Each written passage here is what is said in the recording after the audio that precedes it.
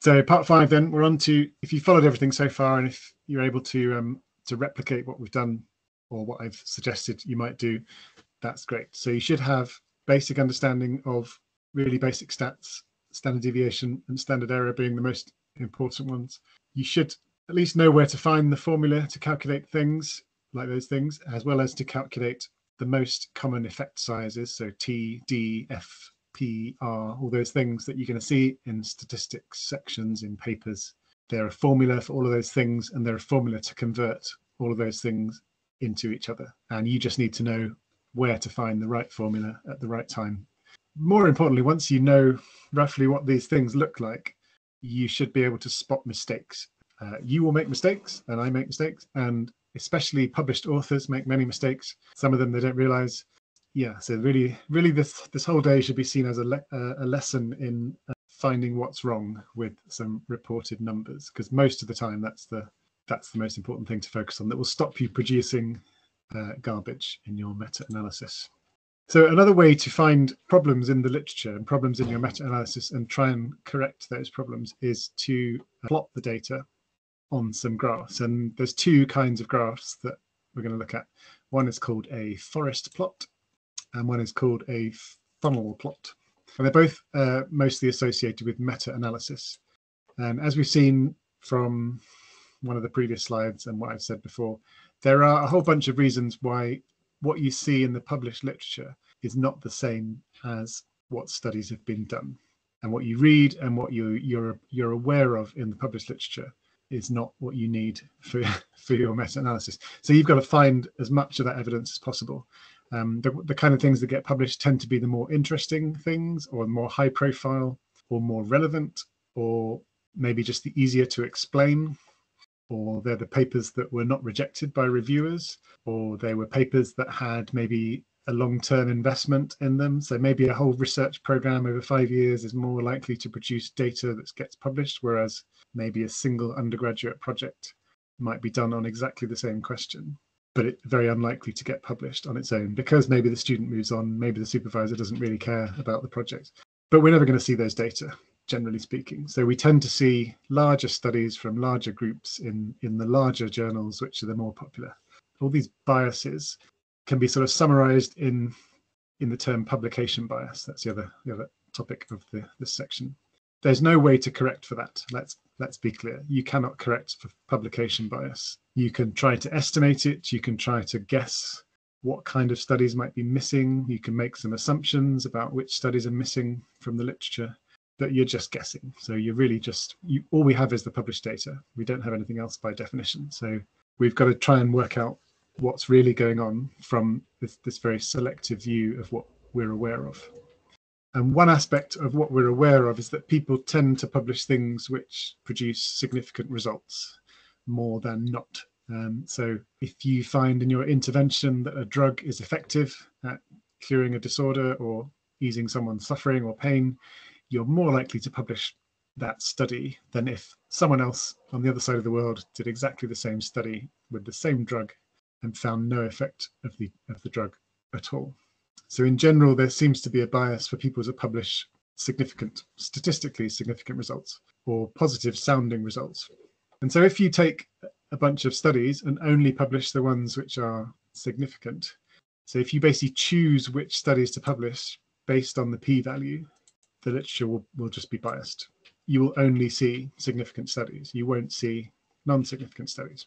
And that has interesting consequences statistically. So if you're using this statistical measure to make a decision about whether something is worth publishing, your published literature will be heavily influenced by that number. And given that, as I think we've seen, and I've seen every time I've run that, that little quiz, people don't understand p-values.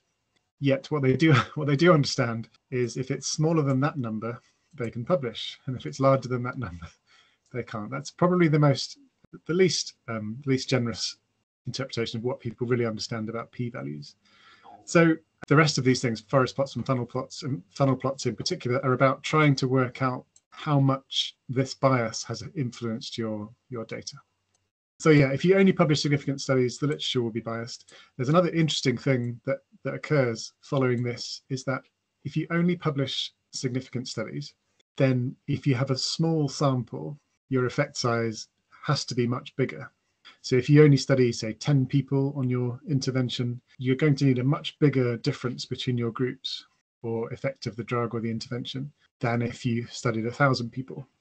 Both of those are perfectly valid. I'm not. Um, I would never say there's you know a right size, and above that right size, you know that's that's all good. 10 people is perfectly fine for lots of studies. But there is this problem that smaller studies will be associated with larger effect sizes, assuming that we only publish the significant ones. That sentence is basically a description of the funnel plot. That's where we'll get to in a bit. If this is true, if there really is publication bias and that scientists tend to behave in this irrational way of only publishing results when they look nice, your meta-analysis will be biased and there's no there's no getting away from that you just have to accept it that it, it's going to be biased. But let's see what you can do to try and estimate and get around that problem. This is fun. If you haven't heard of the, of the decline effect, it's very fun. Um, so this is a bit. This is similar to publication bias in that initially, when people find when people discover something, people tend to publish it. So if you find something strange or unusual or exciting, you uh, you tend to publish it straight away, um, and it gets accepted and it gets into the fancy journal, and everyone goes, everyone gets excited, and then everyone else starts studying the same thing. This could take weeks in the case of physics communities, or it could take decades in the case of other other communities. But in general, when other people start studying something, the effect size tends to get smaller um, over time, and this is called the decline effect. And it's a curious phenomenon that you look at. A meta meta analyst might look at over over decades or over time. And there are various sort of reasons why this might happen. Why might why might interventions be less successful over time? And it's not because the subjects know they're being interfered with. It's it's because the science is maybe better. So you can imagine when you first do a study, your maybe your equipment isn't very good, or your methods aren't very good, or maybe you don't don't really collect much data, and you maybe you you were just lucky. So the first time you publish something, it's not a very good study, and it gets lots and lots of media attention, for example, but it was never any good, never that good in the first place. And then later, people come along, improve upon the study, remove confounding variables, collect larger sample sizes, and maybe do more control conditions. And then the effect size gets smaller. So it's called the decline effect, and it's a very interesting meta analytic fact of scientific life. So big, sexy results published in Nature in 2010. In, in the years to follow, better studies will be done, replications of those studies will be done, and the effect might get smaller or disappear. Back to what happens in meta-analyses. When you when you click the button in your software, whichever software it is, to do a meta-analysis, you'll have the option of producing a forest plot, and that's uh, in this graph. This is an example from I've stolen some images off Wikimedia and other places. So the forest plot is a very simple way of showing all the data from your studies. So on the um, on the x-axis, you've got the effect size. In this case, it's an odds ratio. So this is like the risk, say the risk of getting cancer or the risk of uh, some other condition after a particular intervention, or say comparing smokers versus non-smokers, for example. Assume that that's what's being studied here. So this could be the risk of getting cancer in smokers versus non-smokers. If there was no effect of smoking, the risk would be one, so equal risk. The ratio of probabilities is one to one. Um, but if you're double the risk of getting cancer if you smoke, then the ratio would be two. So this isn't like an odds ratio, a relative risk. Um, so on the x-axis is the effect size. On the y-axis is just the study, and they've ordered them in in date order. So we've got a bunch of made-up studies in date order.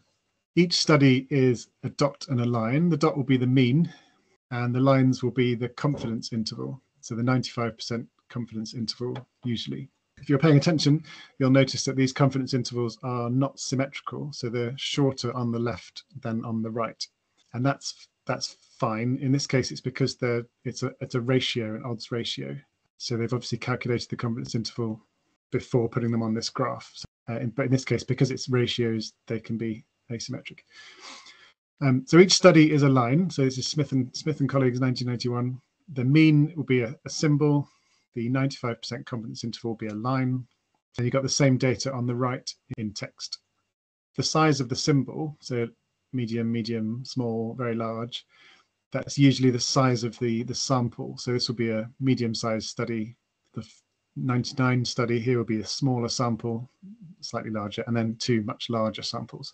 So the more evidence you have in your study, the larger your symbol will be. And you, you can also see this from the size of the error bars, the size of the confidence intervals. If you've got a small study, these two, you've got large confidence intervals.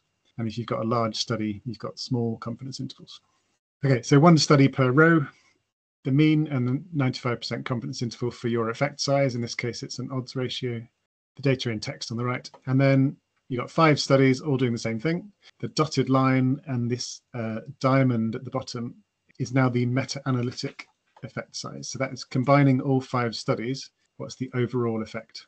And in this case, the line is the mean effect and the width of the, the diamond is the, the confidence interval. So this is now the 95% confidence interval for the effect size across all five studies. And in this case, you can tell if the meta-analysis is significant by seeing whether this diamond overlaps with one. And it's obviously a very strong difference away from one at this point. So there's no overlap between the symbol and the line, meaning it's a significant meta-analytic effect. If you've been following very closely or you knew this from before, if you've got a 95% confidence interval like these are, you can do a t-test.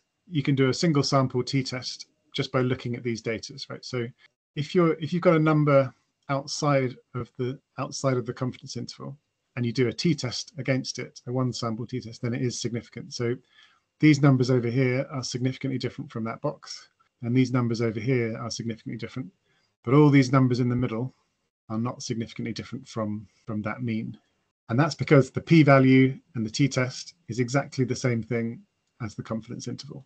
One tells you the range over which the p-value is non-significant, and the other tells you what, what the significance is. I've seen various arguments over the years, people saying, oh, we've got to abandon p-values and we should be using confidence intervals instead. You can find these arguments on Twitter. You can find whole papers written about them. Uh, it's very amusing. Just if you if you actually understand stats, saying we'll get rid of p-values and just report confidence intervals means you don't understand what either of those things is. So what that means is you can look at this um, confidence interval, and I think this these data have been constructed exactly like this to show this point. So in the first study, the confidence interval includes one. So you can just say by looking at that data that this study did not find a significant difference between the two groups. The odds ratio included, the confidence interval for the odds ratio included one, so it's not different. This second study, um, slightly smaller study, slightly larger error bars, but in this case, the confidence interval is exactly on the border of one on the left end and that means that the p-value for this sample is 0.05. So because that confidence interval stops at 1, the p-value is 0.05. So that study likely was published because, you know, 0.05, nice result. Uh, the third study, similar sample size, slightly larger error bars or slightly lower mean, and it now overlaps with, um, with 1. So this study did not find a significant difference with 1. And that's kind of the point of doing meta-analysis, right? You've got one study which is not significant at all.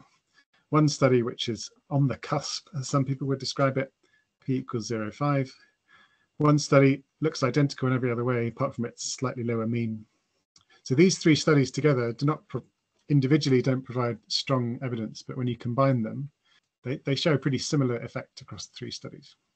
And then these these large, these two down below, they're obviously repeated five years late, five and ten years later they've realized something's happening in the earlier studies. They've gone and done a massive study and they've got a very strong effect of the intervention.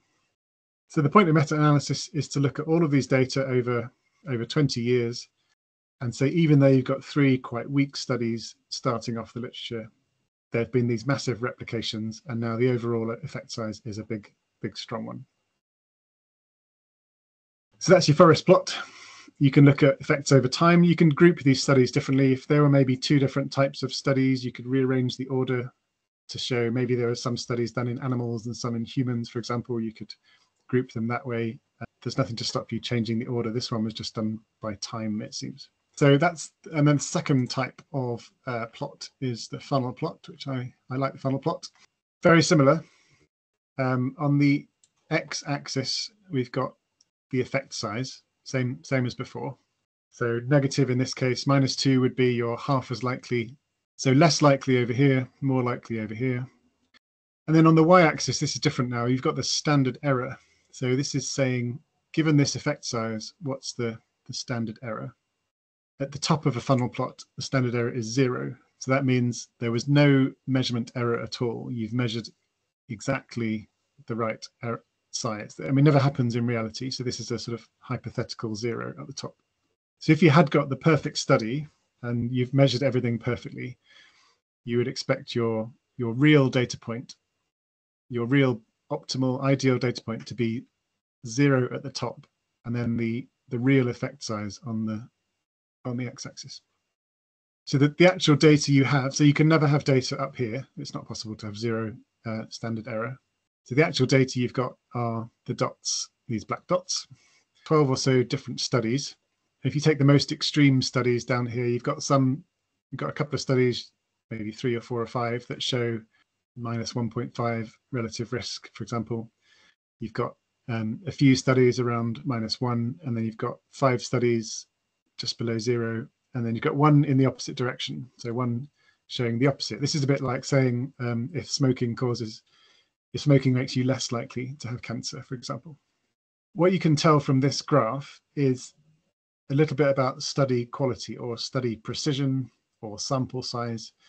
So usually the standard error, because it decreases with sample size, if you get larger studies with larger samples, you'll have a smaller standard error. So that's equivalent on this graph. If you get larger boxes, you'll have uh, smaller whiskers over there for the confidence interval. On this graph, if you have a larger sample, you'll be further up uh, on the y-axis with a smaller standard error. So on this graph, you could say that the worst study, or the least precise, or the most variable, or perhaps it's the one with the fewest subjects, the worst precision data has an effect size in the opposite direction. So it has a positive effect size, whereas most of them are negative. So this study seems to be unusual in that it's very imprecise, it's very variable, and it goes in the other direction. By contrast, the strongest or the, the, the least variable or the, the largest sample, the, the best precision, the lowest standard error, this one has an effect size of almost exactly zero, which means no difference between control and experimental groups. And then all the others are slightly different. So you, on this graph, you need to look at uh, what happens to the, the highest quality and the lowest quality studies in terms of their variability. Do they show similar effect sizes? Are they very different? And is there any pattern? And so there's two studies here with quite high um, precision, but almost zero effect size.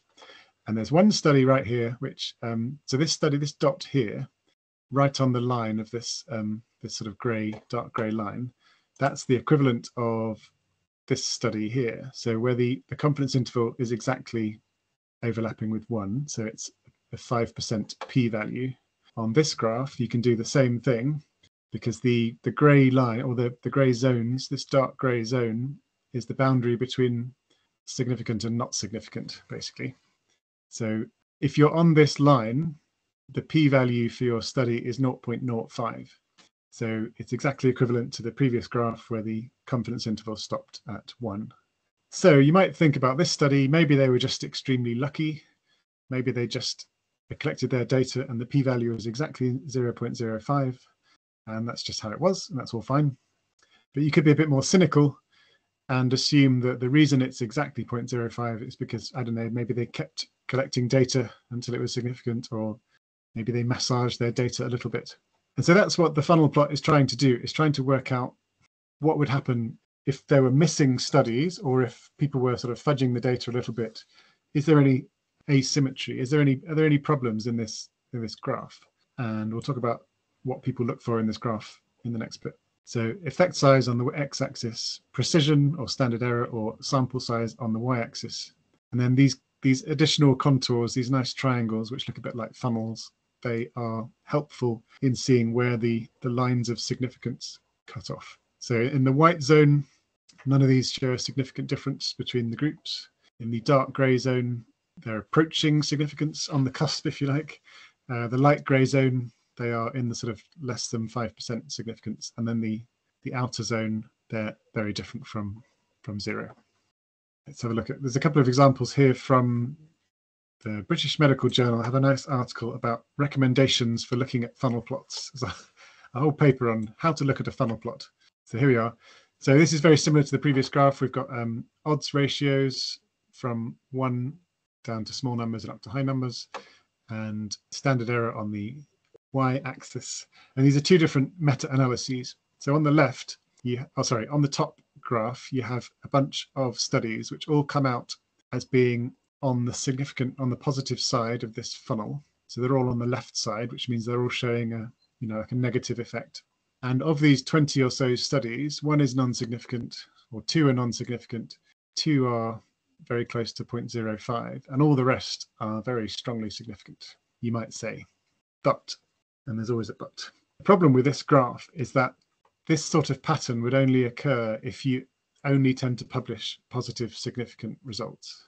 Because if you're randomly selecting data, random sorry, randomly selecting participants and you're giving them your very well controlled study, you should expect to find effect sizes which are sort of normally distributed. So there should be like a there should be like a bell curve of effect sizes here. So the better, more precise effect sizes will tend towards the middle, and the, the less precise effect sizes will, will come out towards the edges. But it should be symmetrical.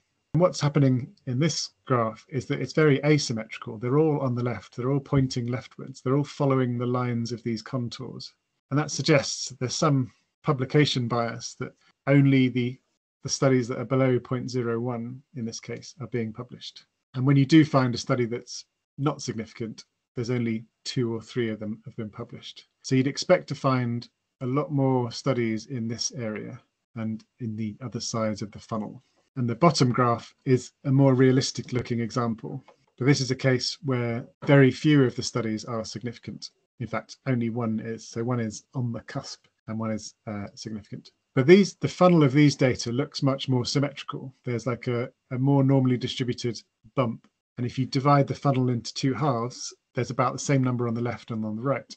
Whereas at the top, if you divide this where you imagine the, the mean might be, if you divide it into left and right, there's many more studies on the left on the publication bias side than on the not significant side. Uh, you can just look at the graph and make, and that's pretty good. That's uh, that's pretty good. So for me, the top one looks like there's a publication bias, and the bottom one it doesn't. You could take a look and make make a judgment. Um, that's pretty good.